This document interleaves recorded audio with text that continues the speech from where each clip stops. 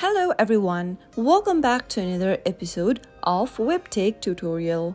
In today's episode, I'm going to be showing you how to sign out of your Linqto application using mobile device. So let's dive into the video without wasting much of our time. From the app drawer, make sure to launch open your Linqto application. If you're logged into your account and you'd like to log out of it, then here is how you can easily do it. From the main homepage of Linqto, tap on the account option at the bottom right hand corner. This will then open up the settings interface. Tap the sign out button under account at the very top of the screen and once you do that, you'll directly be logged out or signed out of Linqto. Remember that you will need your email and password if you've signed up using email option in order to log in back to your account again, so make sure you remember your credentials before logging out. So that's how easy it is to sign out or log out of Linqto. If the video was helpful to you, go ahead and give us a thumbs up. Don't forget to subscribe to our channel